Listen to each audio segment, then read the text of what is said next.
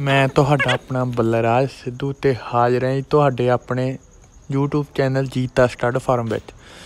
ਮੇਰੇ ਦੋਸਤੋ, ਅੱਜ ਜੋ ਤੁਹਾਡੇ ਸਾਹਮਣੇ ਜਾਨਵਰ ਫਿਲਮਾਉਣ ਜਾ ਰਹੇ ਹਾਂ, ਉਹ ਜਾਨਵਰ ਨਹੀਂ, ਅਜੂਬਾ ਹੀ ਆ।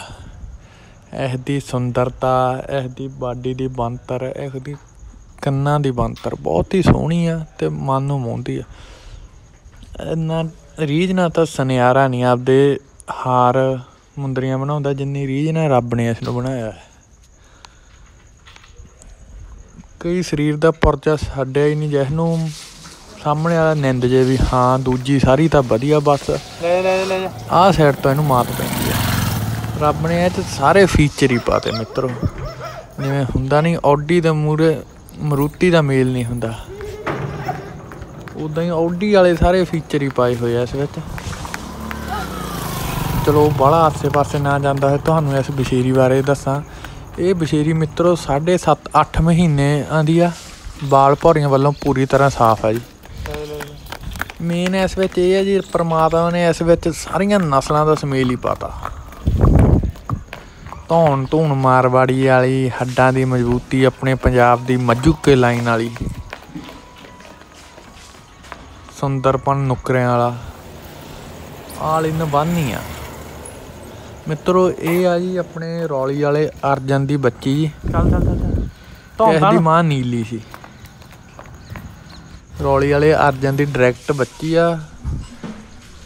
ਜਿਹੜੇ ਮੇਰੇ ਵੀਰ ਭਰਾ ਪੁਰਾਣੇ ਆ ਆ ਫੀਲਡ ਵਿੱਚ ਪਹਿਲਾਂ ਤੋਂ ਉਹਨਾਂ ਨੇ ਤਾਂ ਇਸ ਦੀ ਬਾਂਤਰ ਤੋਂ ਹੀ ਪਛਾਣ ਲਿਆ ਹੋਣਾ ਵੀ ਹਾਂ ਇਹ ਅਰਜਨ ਵਾਲੇ ਰੌਲੀ ਵਾਲੇ ਅਰਜਨ ਦੀ ਬੱਚੀ ਆ।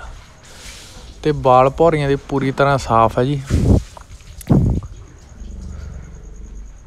ਨਾ ਸਿੱਟਾ, ਨਾ ਹੰਨਾ ਭੌਰੀ।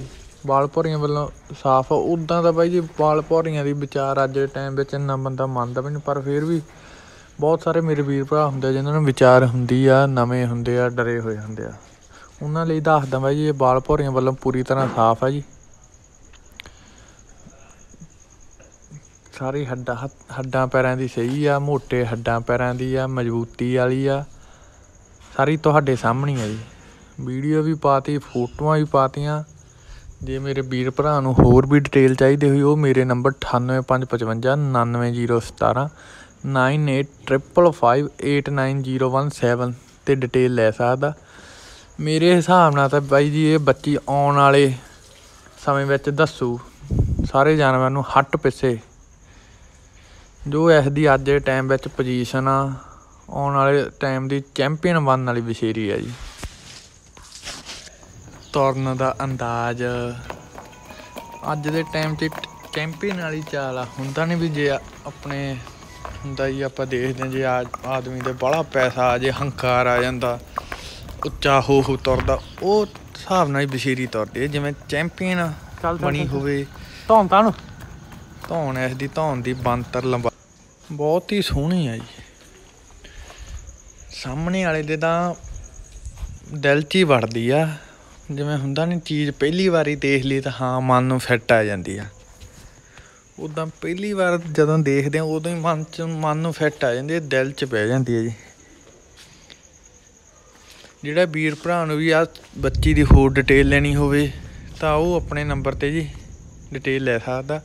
ਤੇ ਇਦਾਂ ਦੇ ਹੋਰ ਜਾਨਵਰਾਂ ਦੀ ਵੀਡੀਓਜ਼ ਲਈ ਆਪਣੇ ਚੈਨਲ ਜੀਤਾ ਸਟੱਡ ਫਾਰਮ ਜੁੜੇ ਰਹੋ। ਧੰਨ